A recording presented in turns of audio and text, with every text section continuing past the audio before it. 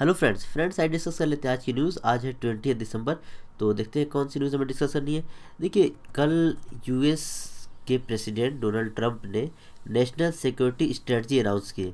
तो उसमें इन्होंने इंडिया को अपना एलाई माना है और इन्होंने कहा है कि India as a global power emerge हो रहा है तो उसका इन्होंने स्वागत किया। उन्होंने कहा है we welcome India's emergence as a leading global power and stronger strategic and defence partner right तो एक तरीके से इसको इन्होंने बैक की बैकअप किया है इंडिया को, ठीक है सपोर्ट किया है। और इसके अलावा ये चाइना और रशिया को अपना ये थ्रेट मानते हैं, ठीक है? उन्होंने देखिए कहा है और इसके अलावा इन्होंने जो अभी नया क्वाड्रिलेटरल बनाया गया था, उसको इन्होंने भी सपोर्ट किया उसको कह रहे हैं कि उसको और आगे बढ़ाया जाएगा। We will seek to increase quadrilateral cooperation with Japan Australia and India इसके अलावा we will expand our defence and security cooperation with India ठीक है तो इंडिया के साथ अपने रिलेशन और बेहतर बनाने के लिए इसके अलावा सिक्योरिटी कोऑपरेशन वगैरह डिफेंस कोऑपरेशन बढ़ाने की बात कर रहे हैं। और ये चाइना और इनको ये कह रहे हैं कि एक तरीके से ये ख़तरा है हमारे लिए। और इन्होंने कहा कि many countries in the Indo Pacific were looking in the looking to US for leadership even as Chinese dominance risk diminishing the sovereignty of every state and the region ठीक है तो कह रहे हैं कि बहुत सारे कंट्रीज़ जो है, वो यूएस की तरफ़ देखते हैं, क्योंकि चाइना इन लोगों के लिए खतरा बना हुआ है। ठीक है? ये कह रहे हैं कि China and Russia are determined to make economy less free and less fair to grow their militaries and control information and data to data to repress the societies and expand their influence ये कह रहे हैं कि Russia और जो China है, ये क्या कर रहे हैं कि अपनी मिलिट्रीज़ का एक्सपेंड कर रहे हैं और ये चाहते हैं कि इनकी जो इकोनॉमी है, वो लेस फ्री हो और लेस फेयर हो। राइट तो ये सारी बातें इनकी है। नई इनकी स्ट्रेटजी जो है सिक्योरिटी स्ट्रेटजी उसमें ये बातें कही गई है। और ये देखिए, कल अपोजिशन डिमांड कर रहा था पीएम की अपोलॉजी के लिए, लेकिन मीटिंग जब हुई लीडर ऑफ़ हाउसेस मतलब लीडर ऑफ़ अपोजिशन के साथ और लीडर ऑफ़ हाउस की तो उन्होंने इसमें मना कर दिया। ठीक है? और इस पेज पे तो ये देखिए हालाँकि ऐड है, लेकिन आप इसको थोड़ा सा देख सकते हैं। ये है प्रधानमंत्री की एक स्कीम है, ठीक है? तो प्रधानमंत्री रोज़गार प्रोत्साहन योजना, राइट? तो इसके बारे में आप कमेंट बॉक्स में लिखे ये योजना है क्या? देखिए, लिखा हुआ है, ये योजना है for better job security, workers happiness, higher productivity, ठीक है? तो ये आप याद रख सकते हैं, प्रधानमंत्री रोज़गार प्रोत्साहन योजना। इसके सैलियट फीचर भी यहाँ पे दिए हुए हैं। Right, government pay eight point three three percent E P S contribution for new employees इसके अलावा for selection sector of government industry complete बारह percent contribution of employer paid by the government ठीक है scheme applicable for new employees drawing monthly salary up to fifty thousand तो ये सारी चीज़ें हैं राइट तो इसको आप देख सकते हैं। और अगली न्यूज़ देखिए, एक नई स्कीम थी। वहाँ कर्नाटका की एक स्कीम थी, सकला करके, सकला स्कीम थी और ये करप्शन को रोकने के लिए थी और डिलीवरी ऑफ़ जो सर्विसेज़ होते हैं उनको इफ़ेक्टिव बनाने के लिए थी। तो इसका अब ये पार्ट टू इन्होंने लॉन्च किया है, ठीक है? तो उसमें जो कुछ रूल थे, उसमें उसको कह रहे हैं कि अब इसमें मोर टिथ प्रोवाइड की गई है ताकि जो उसमें कुछ कमियाँ थी या कुछ प्रॉब्लम्स आ रही थी या डिलेज हो रहे थे, उनको इसमें दूर करने की कोशिश की गई है राइट तो इसमें जी जो फाइन थी, उसको बढ़ा दिया गया है, दो सौ, पहले बीस रुपये था, आपको दो सौ पचास रुपये कर दिया गया है, जैसे अगर आप डिले करते हैं कैसे की इन्फॉर्मेशन जो जो डिलेस के लिए जो फाइन थी, वो थी, बीस रुपये, उसको दो सौ पचास रुपये बढ़ा दिए गए ठीक है? इसके अलावा करें कि एक कमीशन को भी इम्प्लीमेंट कमीशन बनाया गया है, इसको इस स्कीम को इम्प्लीमेंट करने के लिए राइट तो आप याद, क्योंकि देखिए कुछ स्टेट की स्कीम भी इम्पोर्टेंट हो जाती है, जो फ़ेमस स्कीम होती है तो आप याद रखिए कर्नाटका की स्कीम है सकला करके ठीक है ना? और ये करप्शन को रोकने के लिए है, और डिलीवरी सर्विसेज़ ऑफ़ डिलीवरी के लिए, राइट? और ये देखिए, एक न्यूज़ है, सुप्रीम कोर्ट ने कहा है कि जजेस का ये काम नहीं है कि वो मूवी की एनालिसिस करें, ठीक है? तो एक से पहले भी एक जजमेंट आया था, उसमें भी सुप्रीम कोर्ट ने कहा था, और तो ये मतलब इन्होंने पूरी तरीके से कहते हैं कि चूँकि सेंसर बोर्ड इसके लिए ऑलरेडी एक बॉडी है तो वही डिसाइड करेगा जजेस का ये काम नहीं है। राइट तो ये सारी चीज़ें थोड़ी सी पता होनी चाहिए, ये लिखने के काम आती है। आंसर राइटिंग में भी और इसके अलावा आपके एसे में भी। ठीक है तो इस पेज पे कोई इंपॉर्टेंट न्यूज़ नहीं है। ये देखिए एक न्यूज़ थी यूपी ने क्या किया है? पहले इनके वहाँ एक श्रवण यात्रा करके एक स्कीम होती थी, जिसमें ये प्रोवाइड करते थे कि कोई भी पिलग्रीवेज जो है, वो भ्रमण पे जा सकता है फ्री ऑफ़ कॉस्ट ठीक है? तो इसको इन्होंने स्क्रैप कर दिया। ये स्कीम 2015 में समाजवादी पार्टी ने लॉन्च की थी तो इसको फ़िलहाल इन्होंने ख़त्म कर लिया है। तो इसमें एल्डरली जो सिटीजन होते थे बेसिकली उनके लिए थी, वो फ्री ऑफ़ कॉस्ट भ्रमण में जा सकते थे। और सी ने देखिए फ़ूड रेगुलेटर जो है फ़ूड रेगुलेटर कौन है? फ़ूड रेगुलेटर हमारा है F S S A I यानी कि food safety and standard authority of India तो उसमें उन्होंने आ, कुछ उनकी कमियाँ पाई है। उसमें इन्होंने ये कहा है कि इन्होंने बहुत सारे लोगों को बिना कंप्लीट डॉक्यूमेंट्स के इन्होंने लाइसेंस इशू कर दिए ठीक है? देखिए इन्होंने कहा है सीएजी ने कहा है कि F S I for issuing licence to business operator without complete documents ठीक है? इसके अलावा इन्होंने ये भी कहा है कि देखिए, बहत्तर जो लेबोरेटरीज थी, उसमें से ये कह रहे हैं कि सिर्फ़ पैंसठ ही है जो, जिन्होंने इनको सैंपल सेंड किया था। और ये कह रहे हैं कि did not process the national accreditation board for testing and calibration laboratories accreditation ठीक है तो उसमें देखिए कुछ लूपहोल्स जो फ्लॉस थे, उनको उजागर किया है।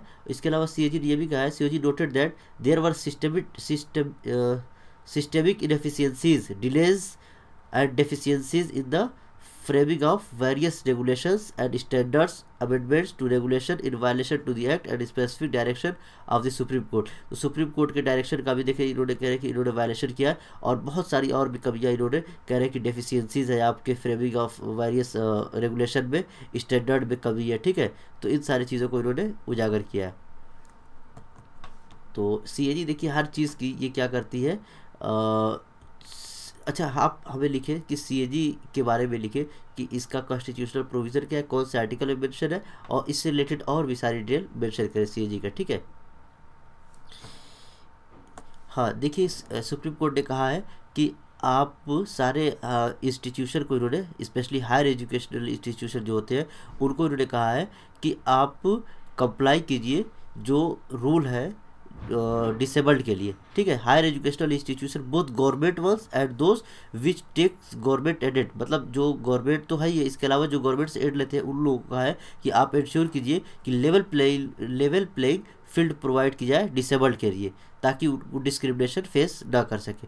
तो right of the person and disability जो एक्ट है एक्ट है, वो प्रोवाइड करता है पाँच परसेंट रिजर्वेशन इन लोगों को सीट्स में।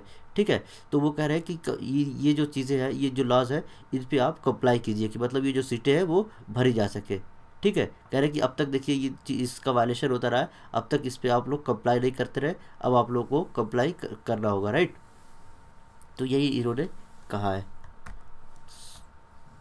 अगली न्यूज़ देखिए यू जो आधार की जो अथॉरिटी है यू आई डी ए आई उन्होंने जो नॉर्म्स है, कुछ कुछ रूल्स जो है, उनको कुछ टाइटेड किया। उन्होंने ये कहा है कि बिना सिटीज़न के परमिशन के, बिना उनके एसेंट के, आप आधार लिंकिंग का काम नहीं कर सकते। इन्होंने यही कहा है, देखिए N P C I will disable the overwrite feature that U A D I said mis uh, UADI said is being misused by many banks while seeding Aadhaar card to account ठीक है? तो बिना consent के बिना permission के ही ये लोग seeding का काम करते हैं तो वो कह रहे हैं कि ये अब नहीं होगा ये आप आपको बिना परमिशन के ऐसा आप लिंकिंग नहीं कर सकते ठीक है?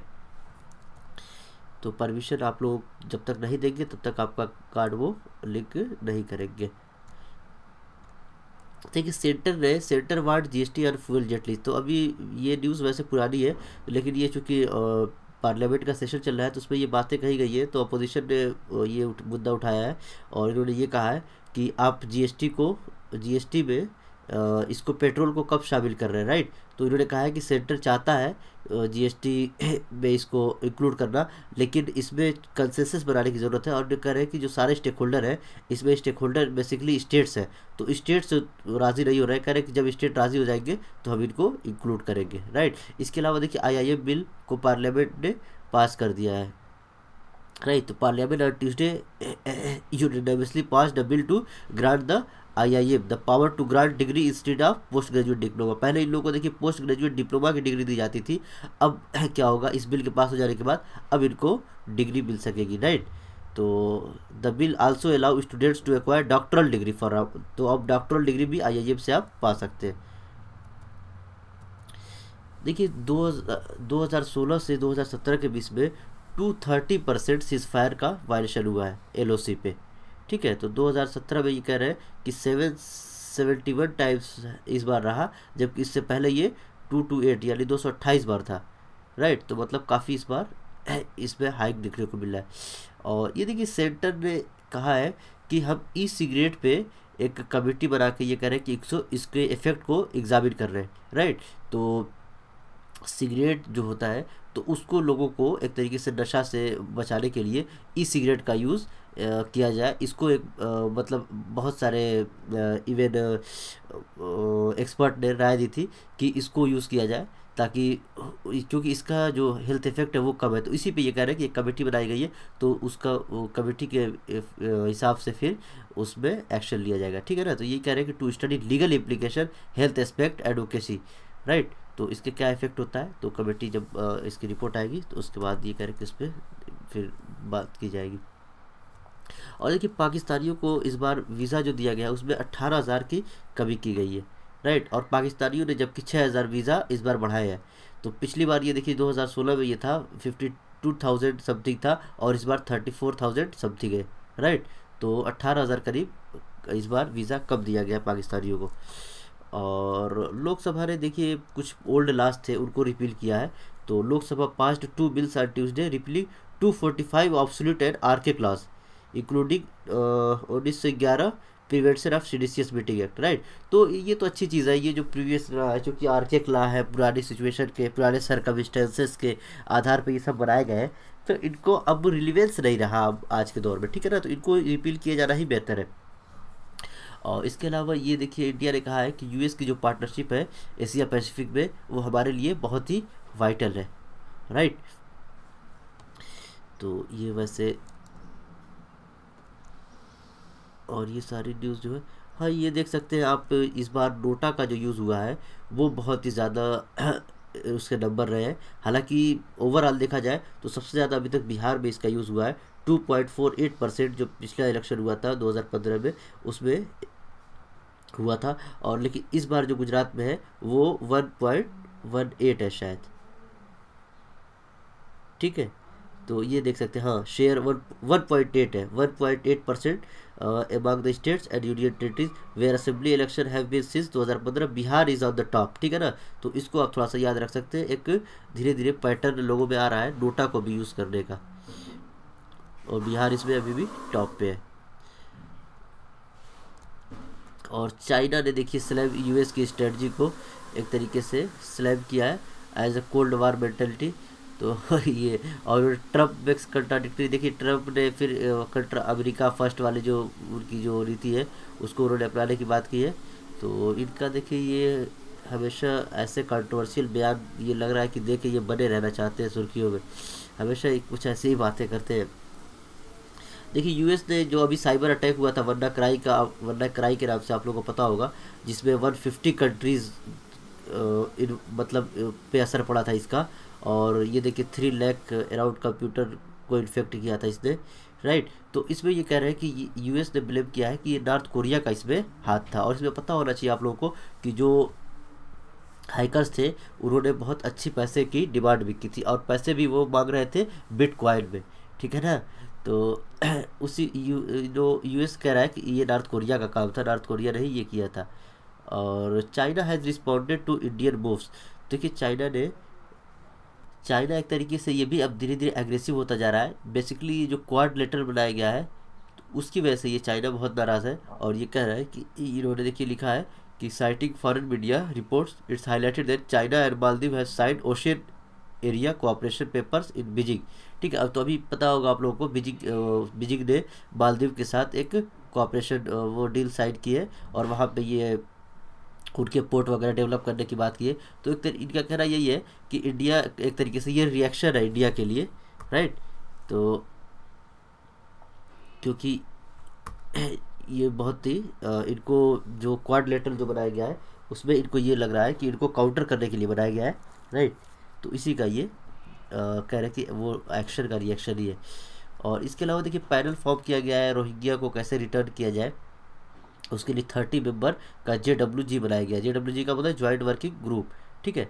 तो ये जो है बांग्लादेश और म्यांमार दोनों ने मिलकर ये बनाया है कि उनकी वापसी को इंश्योर करने के लिए। ये देखिए, कह रहे हैं कि अलकायदा में ही फ्रैक्शन अब हो गया है तो वो जो फ्रैक्शन है कह रहे हैं कि देखिए जो इदलिब जो है इदलिब में अब चूँकि फ्रैक्चर हो गया है तो ये कह रहे हैं कि अब इनको जो बशर अल असद है उनको अब थोड़ी सी आस क्योंकि यही एक प्रोविंस है जहाँ पे बर, इनकी अथॉरिटी अभी वहाँ पे मतलब इनो वहाँ पे इन्होंने कब्ज़ा नहीं कर पाए राइट? तो इस फ्रैक्चर से कह रहे हैं कि थोड़ा सा उनको आसानी हो जाएगी वहाँ पे कब्ज़ा करने में। और सीएजी ने देखिए कुछ और फ्लाज को उजागर किया है और ये है अकाउंटिंग से रिलेटेड इसमें इन्होंने कहा है कि कुछ फ्लाज की वजह से जो एक्चुअल जो फ़िज़िकल डेफिसिट और रिवेन्यू डिफिसिट होना चाहिए, वो हमें नहीं मिल पा रहा है, ठीक है? तो ये कुछ चीज़ें हैं जिनको कह रहे हैं कि अंडर एस्टिमेट किया गया है और इसकी वजह से इसमें जो फ़िज़िकल डेफिसिट और रिवेन्यू डेफिसिट है, वो इस साल का, वो मतलब एक्यूरेट नहीं है, ऐसा इनका कहना है, ठीक है ना? तो audit flaws financial year 2016 physical deficit possibly understated right तो कुछ इसमें भी कमी पाई है उन्होंने और उसको यहाँ पे मेंशन किया है। हाँ कंपनीज़ एक्ट देखिए amendments to companies act pass to ease compliance ठीक तो कंपनीज़ एक्ट का अमेंडमेंट को कंपनीज़ जो एक्ट था 2013 का, उसमें कह रहे हैं कि चालीस अमेंडमेंट करीब किए गए हैं, ठीक है? और इसका मकसद ये है कि कंप्लायंस को और कैसे बढ़ाया जाए राइट तो राज्यसभा ने पास कर दिया है इस बिल को। और इससे, और इसको पहले ही जुलाई में, जुलाई वाला जो सेशन हुआ था, उसमें लोकसभा ने ऑलरेडी इसको पास कर दिया था। ठीक है? हाँ देखिए, सुरेश प्रभु ने कहा है, central planning strategy to boost services export right? तो ये कह रहे हैं कि हम जैसे हेल्थ केयर वगैरह, जो सेक्टर है, ये कह रहे हैं कि इसमें ह्यूज जॉब पोटेंशियल है। तो इस पर ये कह रहे हैं कि इसको और बढ़ावा देने की बात कर रहे हैं। The government is formulating a new strategy to boost services export by identifying new market such as Latin America as well as services including health care and financial services तो इन चीज़ों में कह रहे हैं कि बहुत ज़्यादा पोटेंशियल है तो इसको और बढ़ावा देने की बात कर रहे हैं। ठीक है including health care financial services which have tremendous potential in terms of export and job creation right तो ये job as well as export में, दोनों में इनका अच्छा इनका यूज़ किया जा सकता है। ठीक है ना? तो आज के लिए बस इतना ही friends thank you thanks a lot lot